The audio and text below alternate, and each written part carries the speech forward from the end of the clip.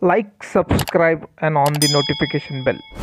And guys, Said Benrahma scored a match-winning penalty against Manchester City. Now West Ham wins that match in penalties by 5-3 against Manchester City. Guys, what a great, great performance shown by West Ham against Manchester City.